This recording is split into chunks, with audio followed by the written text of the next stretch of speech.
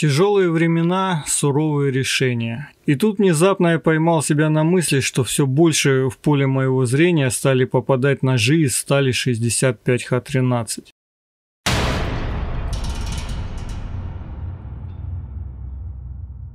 Я, если честно, уже думал, что эта железка исчезла с ножевого рынка и больше никогда не вернется. Мои давние подписчики уже слышали про нее в моих топах, но я никогда не рекомендовал ее.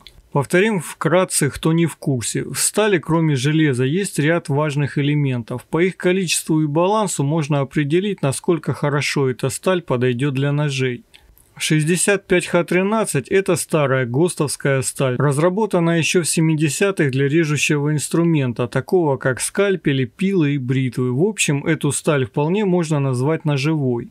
На сегодняшний день эта сталь обладает уже не впечатляющим содержанием углерода, отсутствием широкого спектра легирующих металлов, но имеет необходимое количество хрома, чтобы не ржаветь. Собственно, это ее главный плюс. Ближайшими иностранными аналогами стали обычно называют американскую 440А и японскую AUS-6. И как вы знаете, ножей из этих сталей практически нет на рынке. 65Х13 не супер твердая сталь. Она хорошо обрабатывается на станках, легко царапается и полируется. Различное фототравление и гравировка на клинках для таких ножей не проблема. Были времена, когда у нас не было качественных сталей в легком доступе, и уже скоро опять так будет снова.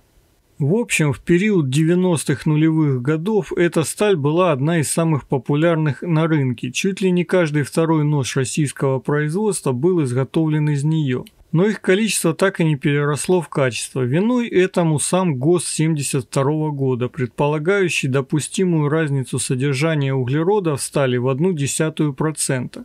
То есть в стали 65Х13 может быть 0,6% углерода или 0,7%. И то и другое содержание будет считаться одинаковой сталью. Остальные легирующие элементы прописаны ГОСТом в очень широкой вилке. Содержание марганца вообще может отличаться в выплавках в три раза – также стальные заготовки могут производиться по разным техническим условиям. Есть разные виды горячей и холодной деформации и прочие технические особенности производства. Такое расхождение характеристик очень значительное, по углероду более 10% по крайним значениям. Думаю, не стоит добавлять, что варили эту сталь несколько заводов, и волевым решением кто-то мог принимать партию металла без надлежащего контроля. Такое большое расхождение по химическому составу неизбежно повлечет необходимость разных программ термической обработки для каждой партии стали.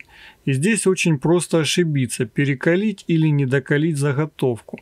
В результате одна и та же сталь на одной и той же модели ножа может вести себя очень по-разному. Тем же ГОСТом твердость стали 65Х13 определяется в пределах от 54 до 59 единиц.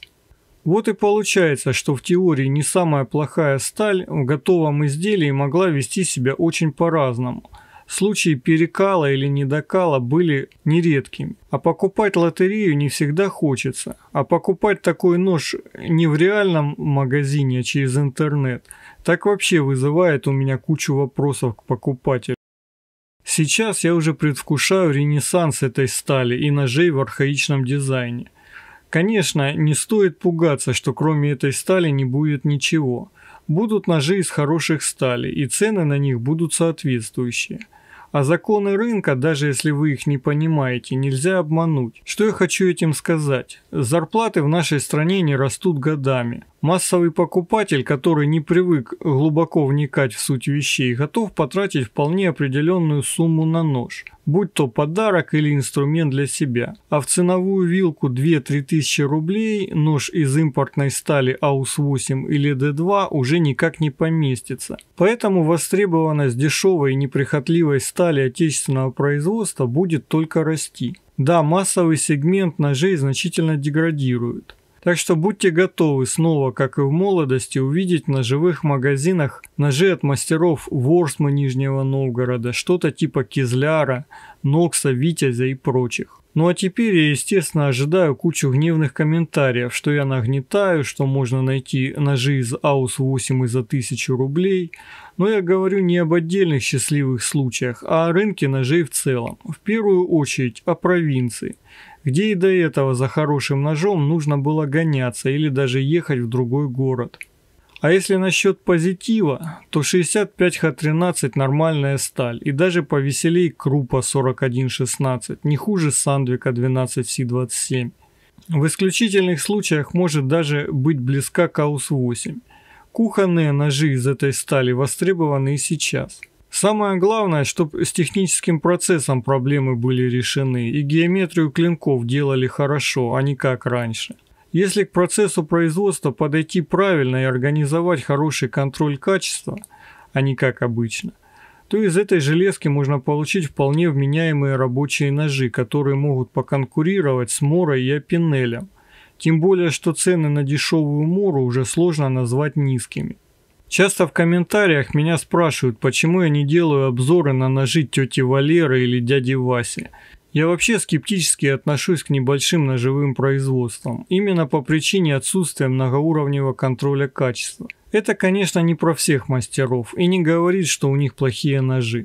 Но при работе с такими сталями, как 65Х13, маленькие производители рискуют попасть в ситуацию, когда хорошие ножи делаются сегодня – а завтра по каким-то неведомым причинам могут производиться ножи куда более низкого качества. И, конечно, маленькая мастерская может быть хорошо известна и популярна в узких кругах, но так, чтобы ножи такого производителя можно было купить везде, в любом магазине нашей страны и за ее пределами, это скорее исключение или счастливая случайность. Вот и получается, что делать обзор на нож пусть и именитого ножедела имеет мало смысла – так как качество может быть непостоянным, и мои зрители, скорее всего, не смогут легко купить такой нож. Но сейчас мир сильно изменился, поэтому я не исключаю, что когда-нибудь я пересмотрю свое мнение по этому вопросу. Завершая ролик, несмотря ни на что, хочу призвать подписываться на канал и группу ВК. Ролики на YouTube продолжим делать, а как посмотреть их в случае блокировки YouTube, думаю, вы сами знаете.